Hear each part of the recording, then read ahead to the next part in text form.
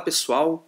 Bem, a AMD anunciou recentemente que a API dela, o Mental, né, tá, tá na sua fase beta final, tá terminando os ajustes dele e será uma plataforma aberta para quem tem Nvidia também e para quem usa processadores Intel também.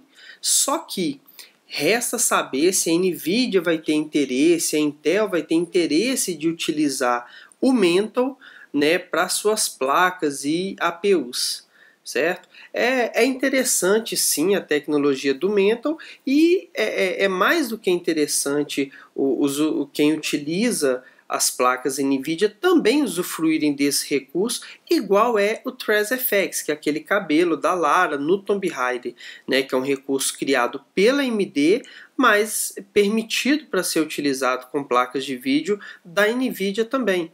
O mercado tem que trabalhar dessa forma, né? unificando, criando novas tecnologias, mas que funcionem é, é, com ambas as placas, porque é, é, óbvio que é impossível você ficar ali com duas placas no seu equipamento, né?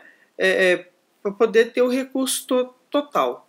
Então, assim, é, vamos ver se a NVIDIA e a, a, a Intel vai se interessar na tecnologia do Mental mas eu acho um pouco provável, visto que a Microsoft é o principal diferencial do Mental, a Microsoft pretende fazer também com o seu DirectX 12. Né? Resta saber se ela vai conseguir que isso fique satisfatório.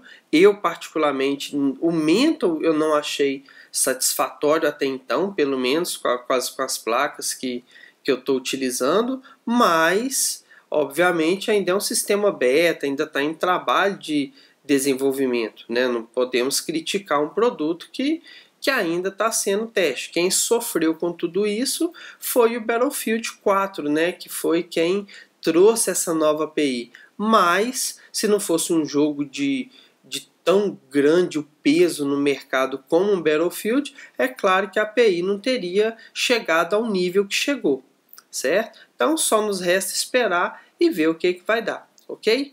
Um grande abraço, pessoal. Até o próximo vídeo. Obrigado por ter assistido o vídeo. Clique gostei, compartilhar e assine nosso canal.